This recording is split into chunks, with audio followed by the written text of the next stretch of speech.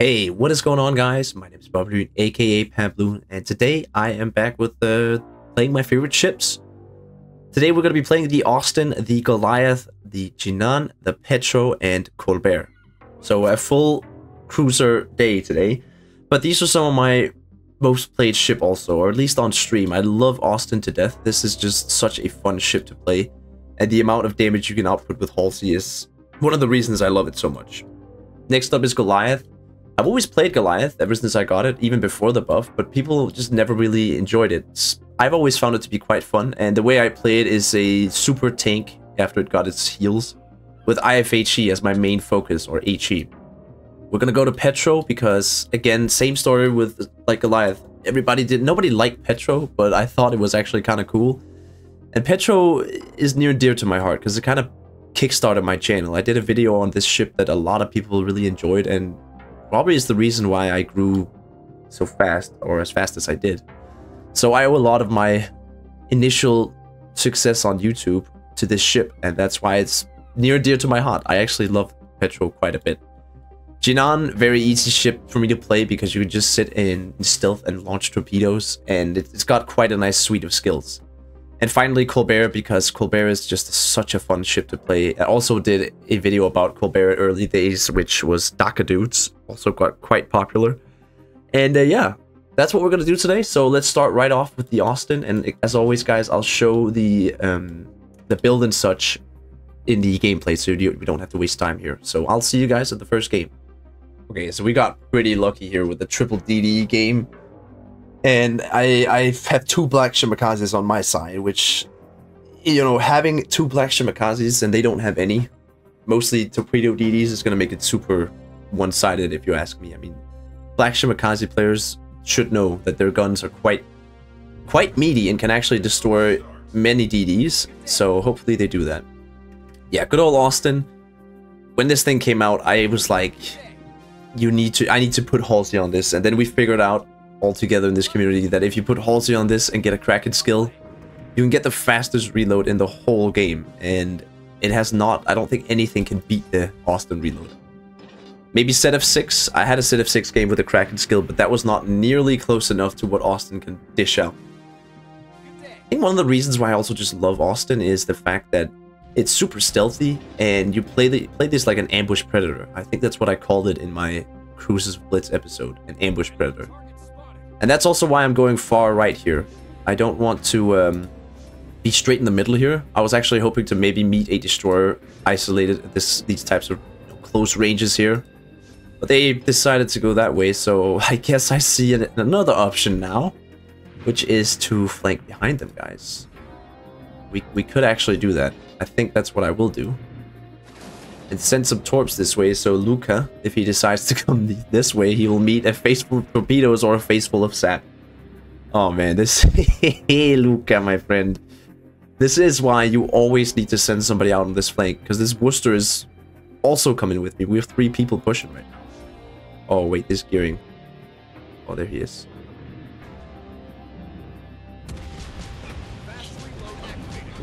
Alright, gearing. I think he's very dead.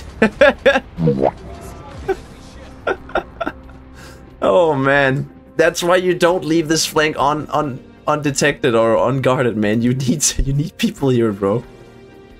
Oh, I have a feeling this game is gonna be super fast, done or sorry, done very fast. So maybe I will do I will go for another game. I want the games in this series to be kind of interesting. So you know, if I if I get like 20k damage and just one gearing killed, we'll we'll play another game, and that's what I'll upload. But maybe if there's funny moments like that gearing, we can uh, we can put the the clip in there because it was kind of hilarious to be, to be fair. Now I don't have anything against this Sao actually shooting at me because I do want my Halsey skill to activate. There we go. That's a fire. He's gonna damage control. Hopefully. Yep. There it is. Now I just stop, and there's his torpedoes that I was definitely aware of. Always be aware of a Asao's torpedoes. If he is broadside to you, that's like almost guaranteed he's gonna shoot towards.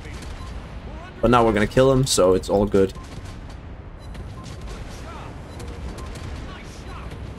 He's not getting fires. Okay, there we go. There we are. Boom, boom, boom, boom, boom. He's probably dead. Very close to it, at least. Oh, here comes this other set. Let's see if we can kill him before that. Yeah, thank God. Okay. We have a Worcester. No, Santander. Okay. Well, that was probably the easiest Austin game of my life. I'm not gonna lie. Like, what the hell? we just sailed down an open flank and nobody shot at us. I love it. We said peekaboo to a gearing and then he died. We got a Shimmer coming this way. I'll meet him uh, face on. Oh, you're dead, Shimmer. You made a huge mistake. fucking run away from me! oh wait, you might actually dodge that. Okay. Fair enough, Shimmer. Um, oh. Oh, there we go. We won the game. um, well, that's Austin for you guys. I actually think I might just use this game because it's perfect, perfect execution of what I said. It's an ambush predator. You you stay stealthy. You take out easy targets with like DDs, and you win the game. Okay, so good old Goliath. Good, yeah, good old Goliath. I mean, this thing has not always been the good old. It used to have a really bad reputation because it, it just it didn't really sit well with people. It's an mostly HE ship, or at least that's how Wargaming intended you to play it. And it, it just was a little bit underpowered. But what I never understood was people just didn't really give it a chance. I mean, it, it's got smoke, it's got sonar, and a defensive fire. It was only really when people saw that it got a buff to its heals, you know, that, that the community kind of saw that it can actually work. And a lot of people that probably wouldn't want to play Goliath, they don't play with HE, which is not a bad idea at all. I mean, the AP on this thing slaps. It's the same caliber as... Um, oh, sorry, it's it's 234 millimeters, which... I mean, that's a pretty huge caliber, man. It's close to 250 mil, which is the same Napoli has. The reason I use HE is because of the commander build you just saw. Eh, I'm running Jellicoe on this, which means I have IFHE. And I am, like I said, I like HE. I know it's not the best thing in the world, and everybody who is a super unicum is going to say that, oh, you, you should be using AP all the time. Sure, but the cool thing about this game is that you don't have to do what everybody says. You can play this just how you want to, and if you like using HE, yeah, you might actually just enjoy Goliath. You get a 14 second reload time, or sorry, 14%, um, 14% uh, fire chance. Sorry, I can't speak right now. And you get a, you know, pretty decent suite of guns. That was a shitty salvo. Wow. The good thing about these HE shells on Goliath is they actually destroy DDs if you hit them right. Um, I didn't, obviously. Missed every, every shell, but this one might hit. As you can see, they do very decent damage. And I will intend to keep hitting this guy if I can. He left Adriatico, so I'll just start farming the FDG here, and it looks like we're not winning the game. See, instant triple fire? not bad, man. That is not bad. He will probably have that stuff damage controlled as soon as I see him here.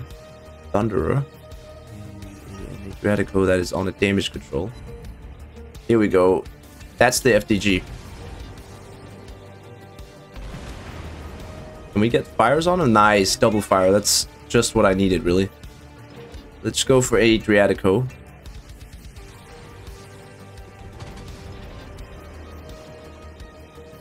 There we go. Oh, we hit two only. I was hoping to hit a little bit more on my friend. Choose a heal and see if we can take him out here. Come on, come on, come on. Reload, reload, reload, reload. Shoot! I don't want to die to that. There we go. Oh, we hit torpedoes on Jinan. Amazing. and we did take two right there. That's okay, though. It's okay. I will, I'll be fine. We have our super heal. It's not a St. Vincent heal, like a real super heal, but it, it does do more than normal heals do. I think I will actually smoke up here, to be fair. And then just kind of shoot at this Jinan a little bit while he's running away. Oh, I would really like to not get flooded here. Wow! well, that was an easy kill. Oh, please hit those torps. Oh, there we go. I think that's a perma flood. No, he did damage control that. Okay, then. But you can see how much damage you're able to farm with this ship if you actually do focus your, on your fires. Now, obviously, with RNG shells, like HE. One could argue AP is also very RNG heavy. But with those types of shells, you need to obviously recognize, okay, I'm not getting fire. So if you shot at the target with like seven HE salvos and you didn't get a fire, well, maybe after the third or fourth one, you should consider just swapping outright to uh, AP and just get that consistent alpha damage. That is really important. Here we go. Here is the Thunderer, Deb Tony. I wouldn't mind if we could reach 100k on Deb, to Deb Tony here. He actually does have quite a few heals. He's got four heals just like us, so we could probably farm a ton of damage. Because we got one salvo without any fires on it, and he is gonna die sooner or later because he's the last guy, so... Oh, the DD's behind him? Okay, well he's dead. Deb Tony's very dead then. Bye-bye, Deb Tony. Bye, Tony. Have a good one. Swap to AP, actually. Since he is on a triple... Whatever, yeah, now a triple fire. I don't think we need to rely on more fire damage, damage to kill this guy. I think he's very dead already. And I think he's about to say goodnight. Yoink. There we go. GG. 95k. I'll take it, man. So, yeah, if you if you're thinking Goliath is a bad ship, not really, man. You saw what we did to that Adriatico. You saw what we did to the Jinan, and you see how the HE works when it does when it does set fires. So, see how much how much fire damage do we actually have? 20,000 fire damage, guys. That's not too bad. That's half a wither. We we got seven fires there. Here we are, playing some good old Petropavlovsk. Oh, oops, sorry, it's on the enemy team. Definitely a dangerous player. Especially since he's playing Incomp. That's that's not something you want to get hit with. Damn, Incom Incomparable can absolutely destroy you in this game. Especially in Petro. But they did recently buff Petro or correct Petro it's you know they changed the hit registration or the hitbox of the ship to make it smaller which i mean if you look at petro it's very very tiny uh, small silhouette really the only thing that's part of the silhouette is the superstructure. The ship is so low to the water which i mean it's it's you know that's an advantage. You should be harder to hit and you know get good shots on. On pc petro's citadel is pretty much hidden. You can't you can't hit it. But yeah, we don't have that type of mechanic in this game, so yeah, you're not completely invincible in this ship. But one of the good things about it is, like I said, the small silhouette, and uh, we got this very, very nice 360 turret configuration, so you can pretty much just sit bow in and turn your guns around to each side as fast as you want. You don't have to go the full 360 degrees to swing your guns around, which I love. It's one of my favorite attributes about the Petro. I mean, you also get precise aim, rapid reload, all good stuff. And it all just helps you out in a really nice way. But the the only time that Petro is really very viable is when you use the legendary mod, and that kind of revived it. Oh my who who who did this? Look at all these torpedoes. How many torps do they have on that team? Like that's actually kind of impressive. Oh well, here we go. He's yeah, as I knew this guy was going to go for me, but a little bit hard with Incomp is I can't actually see him. He's got better concealment than I do, so now that we know where he is, I'm gonna gonna relax a little bit and just kind of peel off here. Don't want to be focused by that guy. Not the best damage. Let's see if we can hit his front front bow section. Yeah, he's taking damage now Incomp, you don't want to be in the middle like that. Even though you see a YouTuber and you're like, oh, I gotta kill the YouTuber. It's not a good idea, man. It, it just isn't, because in, Incomp does not have armor. And what are those two DDs doing up there? that must be the DDs that sent all the torpedoes. What the fuck are they doing? I mean, I'll, I will not complain. It's not my team doing this, so um, sure, sure, do what you want, enemies. Do whatever you want. so right now we're very this is actually poor positioning by me. I'm full broadside to an incomp, so I want to kind of get turned around. It's just, I want it to be facing the enemy instead of having my rear towards them. Because we, we have two turrets in the front, so that's those are the ones I want to use most. Yeah, this uh, GK is not having the best day. There is still one destroyer somewhere. I think that's the gearing. But we have a DD who's going for their, their cruise, I see. Alright, here we go. We need to turn in now because Incomp is back and he's probably going to shoot at us. I think I might be able to take out this uh, GK here. Or the Schlieffen might. We'll help each other out. Well, he didn't actually shoot at him. Wow. Well, now I have to finish him off. Oh, here we go. There's another salvo from Incomp. Not, not fun. Oh, I think we got super lucky again. That he's not had any crazy, crazy dispersion. And actually hit us straight in the... Uh... Yeah, so in my recording, um, my microphone is like having a spasm right now. And it's pretty loud and obnoxious and not very comforting for the for the ears. So uh, yeah, you're gonna get some voiceover here. Um, I think I was talking about the dispersion, but generally this clip right here, the the incomp was doing the right thing by shooting me, but because of this new hit detection or the the correction of Petro's hitbox, it actually was pretty difficult for him to hit me, if you notice. I mean, every shell he does hit is a bounce. But anyways, we're, we're gonna go back now. Hold our fire on that Worcester and try to go for the gearing here instead. I'm just gonna back up and turn in towards these two DDs. One more shot at the Worcester then, and we will... Yeah, bow in like this. This is what you do, guys, against DDs. Just bow in. You have your guns on both sides, remember that. You don't need to sacrifice anything, pretty much. Boom. Good hits. We don't have a lot of damage, but we are holding the fort down pretty well, I would say.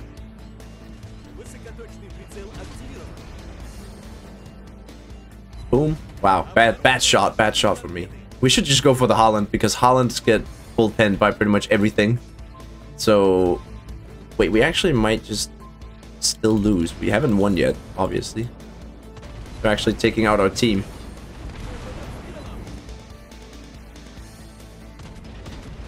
Come on, hit that Holland. Nah, dude, that's very bad. I don't know where the gearing went, but he's still here somewhere. Or did he die? No, he's still alive, I think. Yeah, there he is. Oh.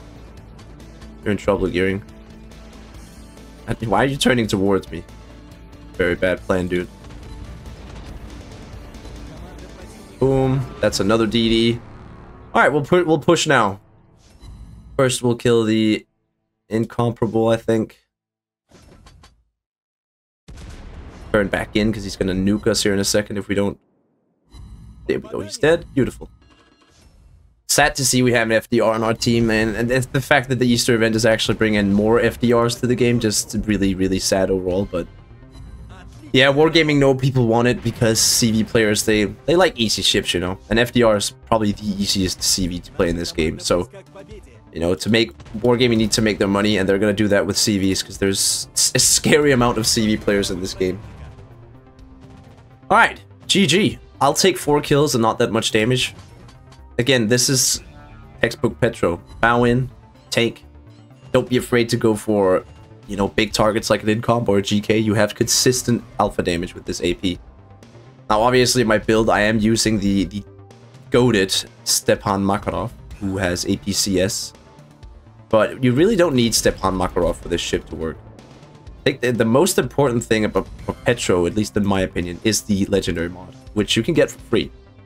And if you're not going to get that, playing with precision mod, uh, sorry, reload, acceleration, and concealment is the build I would recommend for anybody who doesn't have Petro, or sorry, Stepan Makarov or the legendary mod. Hey, we got an MVP again. I'll take it, man. 70k, not the highest, but we again we did fight DDs quite a bit. There we go. First game in the Jinan without an FDR in the game.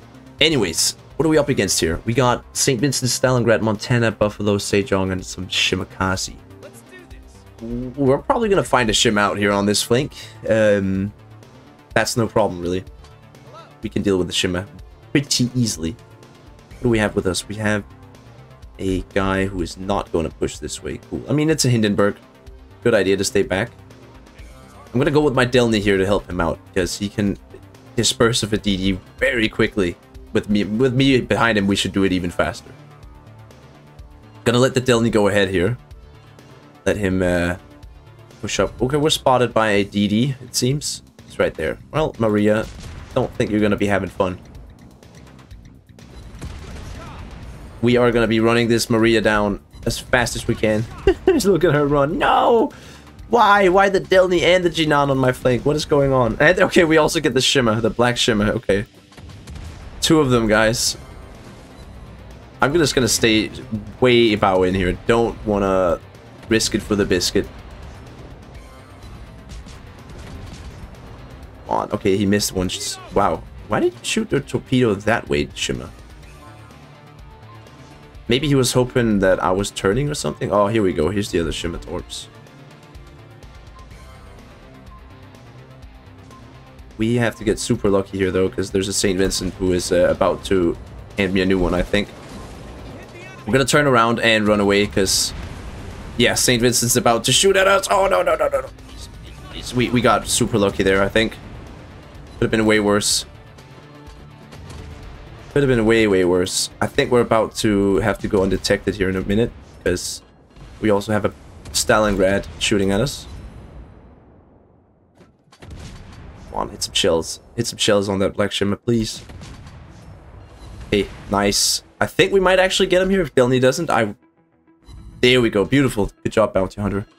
Now we have a St. Vincent and a Stalingrad. They're, they're somehow missing every shell, but... That's great. Okay, we're gonna go reconceal and come back to flake these guys, because uh, my Delny's in a very good position. I want to help him out. If we can, at least. And now we are, I mean, we're rid of one Shimakaze. We know that there's another one somewhere, but we don't know exactly where he went. Three seconds. Uh, let's just shoot some torps, I guess.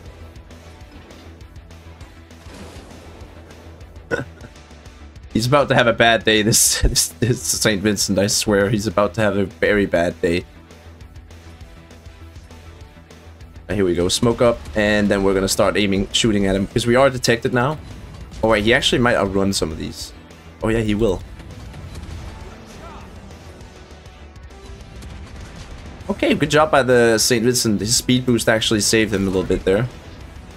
But I will definitely shoot some more at him. The reason I'm shooting him short is because I have a feeling he's gonna turn.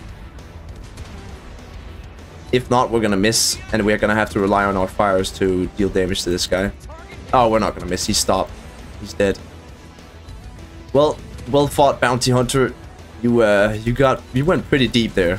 Ramashka got him. Okay, that's Stalingrad. What I'm gonna do is I'm gonna bow in this guy and hope that he misses, which he did just there. And just kind of farm him to death with our main guns. Because they are actually quite decent. Smoke up here make it a little bit harder to hit me. Oh, we, he actually finally hit us. But I'm gonna kill him with guns. That's the best way to deal with him. No reason to waste more torps on him. Just want to save them for the Montana we're gonna fight here in a minute.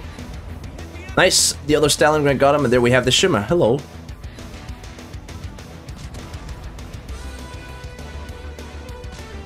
Well, we can't shoot at the Shimmer, unfortunately, so Gonna have to go in balls to the walls on this Montana here.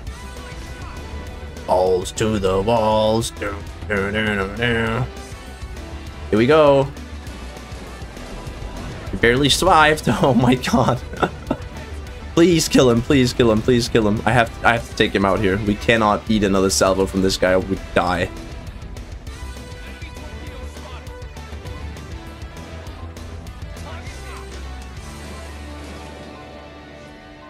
Alright, that should be a dead Shimmer. Should be a dead... Oh my god, am I gonna... Please! Please! Give me the lightning strike! I've never had a lightning strike! Give me lightning strike, please! No! No! So close! So close, bro! What the hell is that? I almost got a lightning strike! No way! Oh my god, that was so close! oh my... No! No! I could have had a lightning strike, bro. I could have had a lightning strike, but we didn't. Oh my god, that was so epic, but we, we failed. no. You only have 5 seconds after the double strike to get the lightning strike. You have 10 seconds after the first kill to get a second one and then get the double strike. But you only have five seconds after you get the double to get the last one. So we ran out of time there, but wow. Oh, my heart is beating like crazy right now. I'm glad I waited for to avoid these FDR games because, you know, with CV games, it just they they do take quite a bit of the damage, especially from battleships. But here we had a full health Montana to deal with, and he actually didn't die from one salvo of torps. I'm I'm surprised. I thought for sure he was gonna die to the first one. But yeah, that was pretty cool. What a cleanup! What a cleanup! And what a great what a great game indeed. 151k damage. I'll I'll take it, man. Any day of the week. And there we go. GG. I'm glad I'm glad I waited and sifted through those CV games to end up with this. Very glad. How much damage did we do with torps compared to guns? Just to kind of em emphasize that your guns are super important in this ship. Because I, I, we probably did more with torpedoes because we hit so many, but yeah, 95 with torps, 51 with with the the guns, and you know, it's it's just important to use these guns, guys, because you see, without without these gun hits, we would have been at 100k. So these Jinan players that only use the torpedoes are just missing out on so much more damage. I mean, yeah, 100k is also good, but what about 150? Okay, here we go. Lucky CV game, gotta love it. And we actually have a Black Colombo on the enemy team. Wow, first time seeing one of those. So uh, we, I, I, think we can expect this guy to be shooting at us. Um, I mean, I've tried the Black Colombo on my press account, and that thing is kind of disgusting against stuff like a Colbert or Smolensk. Because if you get that nice salvo with precise aiming too, you're gonna you're gonna absolutely destroy something like this. So let's try to avoid that guy, huh? Maybe? Yeah, I think that's a good idea. We got Hugo Stiglitz, dude. This guy from uh, Inglourious Basterds, man. What a great movie, too. What a great movie, indeed. Alright, Nakhimov is actually going this way, so I'm immediately going to turn around. I, I just don't want to be the, you know, target of his stuff. Then again, we have two battleships that are pushing, and the other, okay, the other battleships on the other side. I am gonna immediately go there. Oh, they're pushing too, guys. Oh, this could be good. This could be really good. So CV's going for Hugo. I don't know why he's continuing to push. Guys, if you're being attacked by CV from the beginning of the game, Best thing to do is get close to your teammates, especially in the battleship. You, you don't want to be alone. There's absolutely no reason to be alone. Alright, well let's start hitting these battleships. CV is completely... Okay, well our, our CV is pushed up. That's not great. I'm gonna try to hit the Sovetsky Soyuz here to see if I can get a fire on him. He got flooded, so... He's going to repair that, looks like. Yep, Let's focus him. Since he doesn't have his damage control, it's an easy target to focus down. I actually see the Colombo now, so I'm going to turn towards him. Don't want to show him a broadside. The black silhouette is out there, so... Well, there we go. That's a triple fire we were waiting for. We didn't get it, though. CV got it. But let's help take out this Sovetsky anyways. Farm all the damage we can on this guy. Alright, now we see the Colombo. He is kind of aiming over here, and he's definitely just damage controlled. We're gonna get behind the island as much as we can. I'm gonna activate my sonar here because we see the Grozovoi pushed out. And again, we, we get robbed of our fires because of the CV. He is dead now, our CV, so I guess we don't have an aircraft carrier anymore, which is, I mean, that's not good, I would have to say. It's not a good thing. But then he can't steal our damage. I guess that's the positive. Alright, we got an Alsace here. I am going to start hammering this guy. Actually, okay, well, the Colombo just fired, so I'm gonna focus him. Okay, Grozovoi is on me. I should probably not be showing so much broadside, but then again, Alsace, chances of him getting a nice salvo on me is kind of low, I have to admit. Yeah, like I said, that was not a good salvo for him. Alright, Alsace time. Maybe we should focus Grozovoi as well. So let's get that AP on. Start. Oh, there's a Napoli coming here as well. That's bad, bro. And we're. We just got triple. What? Triple fire? You kidding, dude? You gotta be joking. Well, our team is pushing the base, so I just have to run now. I have to run for dear life. There's also a set 46 here. Damn, dude. Damn, damn, damn. I kind of have to go, honestly. Damn, bro. See this set 46? We have to start hammering him. Well, this is what Colbert feels like, man, when you're playing it. It's just a constant run. You're always running. Always running. We have to defend this base with our life, man.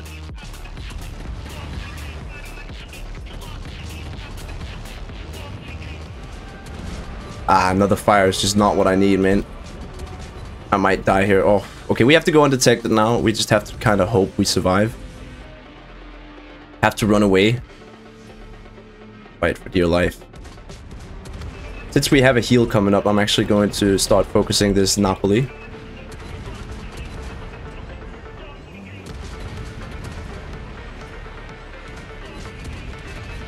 Oh, dude, this is not fun. It's insane. Conqueror's dead. My team is currently fighting the CV. Oh, uh, that's a Napoli salvo. It's not good. I'm gonna have to turn back in. I want to fight this Napoli. I have to fight this Napoli.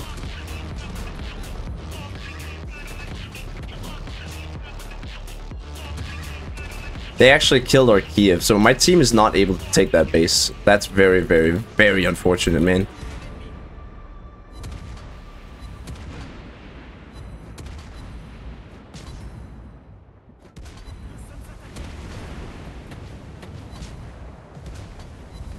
Well, I think this is our demise. I don't think we're going to be able to survive this fight here for much longer. But we're going to do our best to help our team win. There we go. It's unfortunate, man. Um, I was really hoping we could win that. We still have a fire on him. It might kill him, honestly.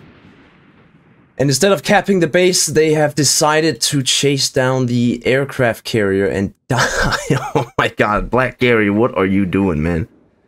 and there we go, we lost the game. So, what can you learn from this? Guys, when you're playing a counter, right? It's more important that you, instead of chasing the CV, two men, you know, Republic could have just stayed here and shot instead of push out of the cap. But instead, he decided to be a dumb nut and push out of the cap. So now we don't have a capture zone and they have taken our base. I say we did our best in this game, honestly. I'll, I'll take it. 119k is better than nothing. We didn't actually kill Napoli, which is unfortunate, but yeah, good job to our uh, two players here. We got Matt Matt Goo for real, and um, whoever this Black Gary was.